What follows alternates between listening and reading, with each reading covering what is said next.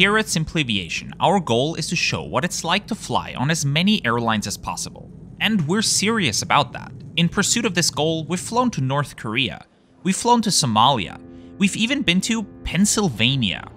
And today, we're ticking off another airline from our list, flying on the largest carrier of Afghanistan, Kam Air, from Istanbul to Kabul.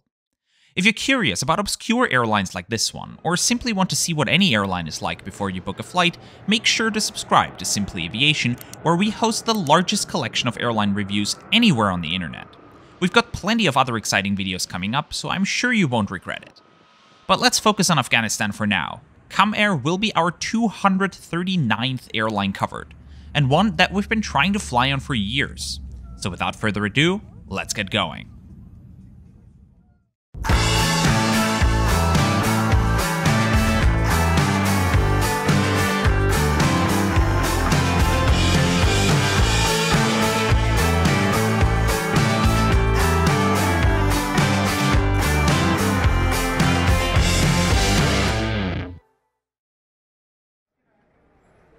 Aviation geeks and frequent flyers, welcome to this new episode of our flight review series Brutally Honest. Today's trip won't be a review as much as simply documenting what flying to Afghanistan is like in 2023. After all, there isn't really any competition for flights to Afghanistan at the moment, with international connections only offered by the two Afghan carriers Kam Air and Ariana Afghan Airlines, as well as by two Iranian airlines, Mahan Air and Kish Air, Fly Dubai has recently also resumed their route from Dubai to Kabul, making it the only big international carrier to currently serve the country. Bureaucratically speaking, traveling to Afghanistan isn't all that difficult. A visa is 100 euros and is paid to, presumably, the old Afghan government, as the current one isn't in control of the embassies, and you'll have to sign a document acknowledging that your safety isn't guaranteed by anyone once you're there. And just like that, we're at Istanbul airport, checking in for our flight to Kabul at the connecting desk. Getting our boarding pass was quick and easy, and we're off to our departure gate. Istanbul's new airport is absolutely stunning. Time and time again, I'm impressed by the sheer scale of the terminal building.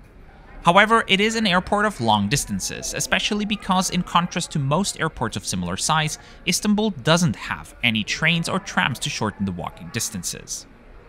RQ9910 to Kabul. That's our flight. And over there you can already see tonight's ride. Yankee Alpha Kilo Mike Echo, a 2000 build Airbus A340-300, which was originally delivered to Iberia and was passed on to Philippine Airlines in 2013 until it was withdrawn from service there in 2018, which is when Kam Air acquired the aircraft. Kam Air has a rather modest fleet, as of December 2023, they operate four Airbus A340-300s, in addition to seven Boeing 737s, 6-300s, and 1-500, although three 737-300s are currently not in operation. Fellow air travel creator Josh Cahill did a video aboard the airline's Boeing 737-500 back in 2021, where he worked with the airline to arrange the first commercial flight in Afghan history to be operated by an all-female crew. I highly recommend you check out his video, which is a stark reminder about how fast things can change, as this would be impossible in today's Afghanistan. We're not the only ones heading to Kabul tonight, with a single Airbus A310 of state-owned Ariana Afghan Airlines parked right next to us.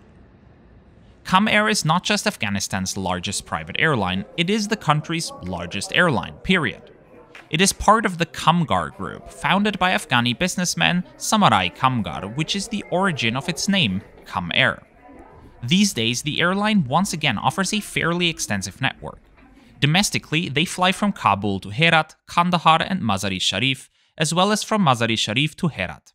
And internationally, the airline offers flights to Dubai, Abu Dhabi, Riyadh, Jeddah, Kuwait, Istanbul, Tashkent, Delhi, and Islamabad, as well as the occasional flights from Mazar-i Sharif to Istanbul and Islamabad, and from Kandahar to Jeddah and Dubai.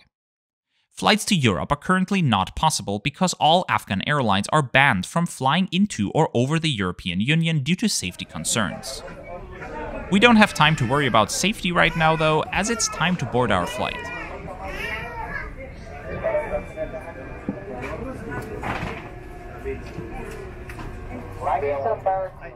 Entering through door 2, we're in the plane's standard 242 configured economy class cabin. Kam Air's website has detailed seat maps of their planes, including information as to which planes feature which. It shows that only one of their Airbus A340s still has a proper business class, with the other three, including ours, having had it replaced with a bizarre 333 configured front economy class section. In the standard economy class back here, the airline uses the Columbus seat model by Italian manufacturer Avio Interiors. We'll be in 30k on this 4.5 hour red eye flight from Afghanistan tonight. While the plane is almost a quarter century old, having been built in 2000, the cabin is in a phenomenal state. From what I could find, these seats must have been put in by Kam Air themselves after requiring the plane from Philippine Airlines, so props to Kam Air for having upgraded the cabin of such an old airliner.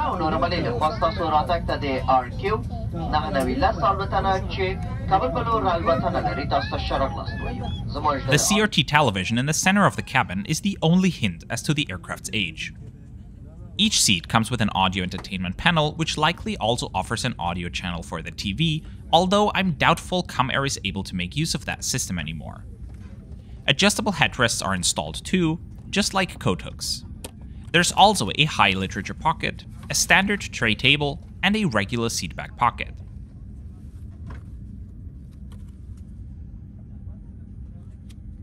The legroom is astonishing, far above the average and above the seats you will find personal reading lights. With that, it's time to get on with our journey and head out towards Kabul.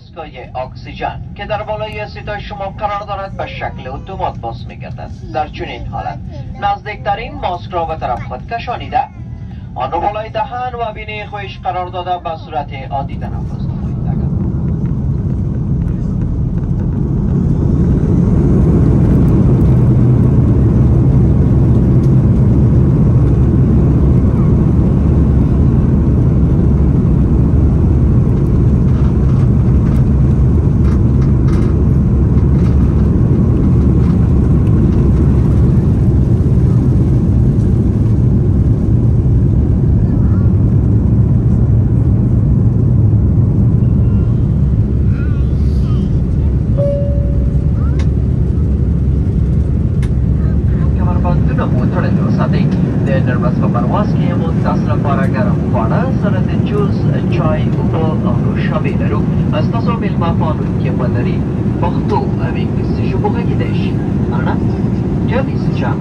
Right after takeoff, the crew handed out bottled water.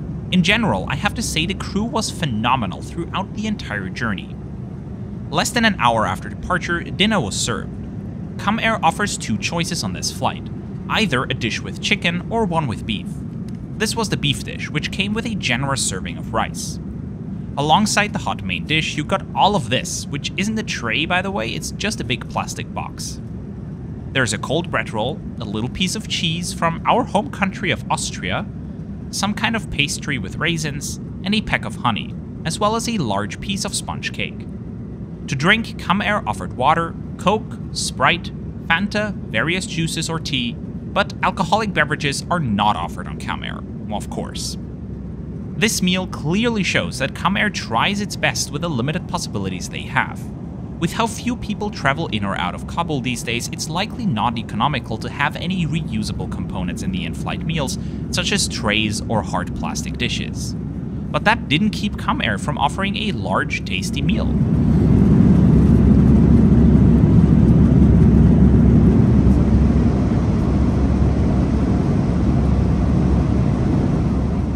After that, the cabin was darkened, so we could get a couple of hours of sleep.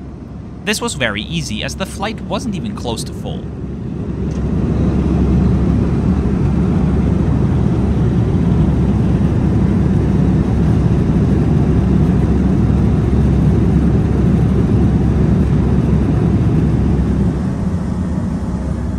The lavatories are pretty standard, although I love how they dotted the walls with Kam Air's logo.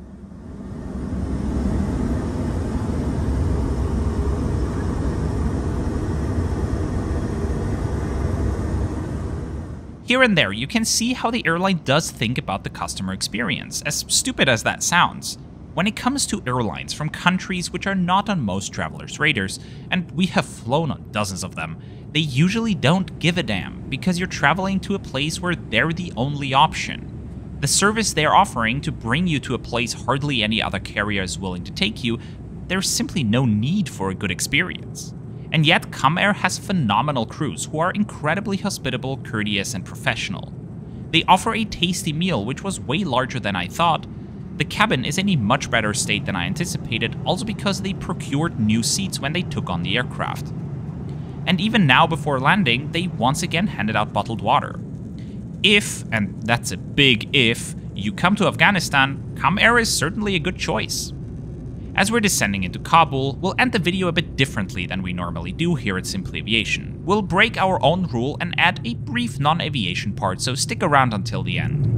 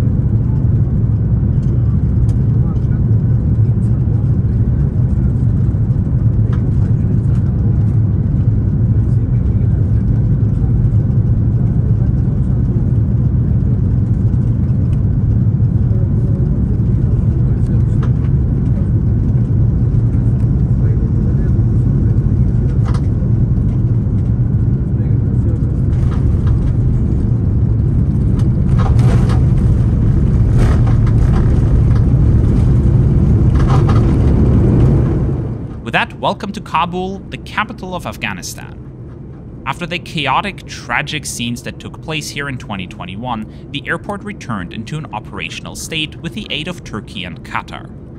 Traveling to Afghanistan these days somewhat bears resemblance to traveling to North Korea. It's possible, certainly not your average vacation, and a trip during which you have to watch what you say and how you behave. And while that way it is safe for your average privileged Western traveler, the quality of life has deteriorated for almost everybody in the country. Choosing to travel to places like Afghanistan always comes with a moral component, because whether you want to or not, you always indirectly support the ruling government by going there. But when you don't visit places, how can you truly understand them? And for us making videos about aviation, how can we say we cover aviation worldwide when we don't actually stay true to the worldwide part? At Simply Aviation, our mission is to show what it's like to fly on as many different airlines as possible, and that mission does not yield to any one country. So with that, I hope we were able to give you a useful glimpse into what flying an Afghan airline is like in 2023. I hope you enjoyed this video, and if you are curious about airlines, not just from Afghanistan, but virtually every country on Earth, feel free to take a look at our YouTube channel where we have over 600 reports and reviews of over 200 different airlines, and make sure to subscribe to our channel so you won't miss the many upcoming videos we're currently working on. We also want to extend special thanks to all those of you who support our work financially with a channel membership. If that's something you're interested in as well, take a look at the members tab on our channel page right here on YouTube, or click on the join button right beneath this video, with memberships starting at just 2 euros per month, which is just 24 euros per year. As a thank you to our channel members, they get access to our Discord server where we can help with any and all questions you might have about air travel, get the occasional early access to a video, and vote on which videos to put out next. Whether you are a sponsor, a subscriber, or simply stopping by for this one video, thank you very much for watching and coming along today. I'll see you again soon for a new video, and until then, safe travels.